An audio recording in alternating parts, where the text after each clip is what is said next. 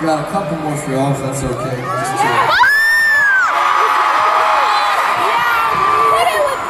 Everyone keeps asking me, who is this record written about? And I'm trying to maintain some sort of mysteriousness about it, but it's very hard. I every single interview in the four hours of interviews that we have to do a day, they're always asking.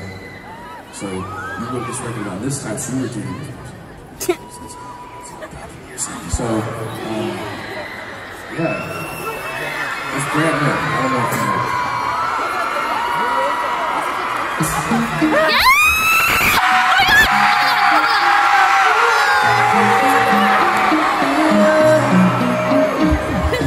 Running around, running around, running around, rolling my dirt on my knew knew that I knew that I'd call you